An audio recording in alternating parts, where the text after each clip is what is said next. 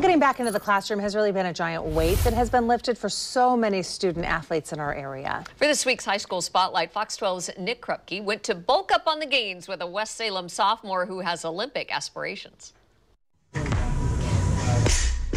Emma Dalke is a 15-year-old sophomore at West Salem High with a whole lot of weight on her mind, her chest, and over her head. I made nationals my first year of weightlifting which some kids it takes like five years. Power cleans and jerks take a whole lot of work. I don't want to say I'm like super good at it, but I feel like I am pretty good at it, but then again, I feel like just like being me, like I don't see myself as a better athlete than anyone.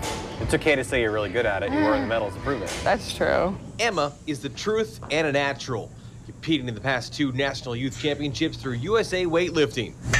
While online during COVID in 2020, Emma competed in Detroit, Michigan this past June. It was my like first big um, like in-person meet, which was yeah. kind of scary. Scary good and setting the bar high in the Motor City. An Olympian came up to me and told me that I was the best lifter he'd seen at the competition and that if I kept with it, I would become an Olympian, that I can make it to the Olympics, which is crazy. Like, it was really cool. Under the guidance of her spotter and coach, Ruben Martinez, Dalke is the owner of three Oregon State records and is treated like royalty by kids and adults alike at Kiowa Fitness and Independence. Because there's kids here that they're like, I want to be a weightlifter like Emma, and like, it's it's so cool. Like I never thought that I'd be like such an inspiration to them, but it's really cool for me.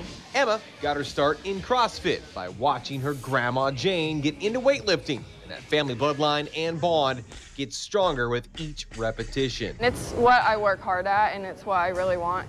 And my dream is to be an Olympian in this sport. Dalke's other sport, which he hopes to eventually earn a Division One scholarship for, is in the shot put.